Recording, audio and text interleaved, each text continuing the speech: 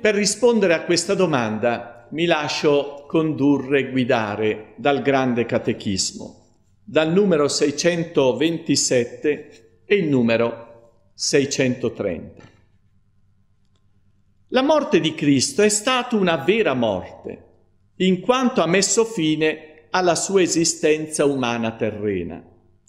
Ma a causa dell'unione che la persona del figlio ha mantenuto con il suo corpo, non si è trattato di uno spogliamento mortale come gli altri, perché non era possibile che la morte lo tenesse in suo potere. E perciò la virtù divina ha preservato il corpo di Cristo dalla corruzione.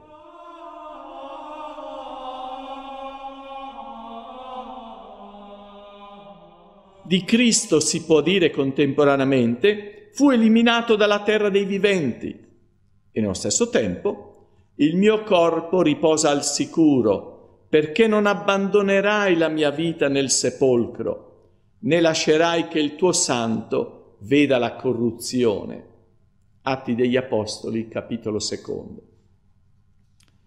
Durante la permanenza di Cristo nella tomba, la sua persona divina ha continuato ad assumere sia la sua anima che il suo corpo, separati però tra di loro dalla morte.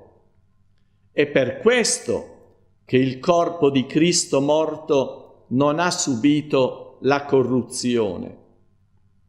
Atti degli Apostoli, capitolo 13.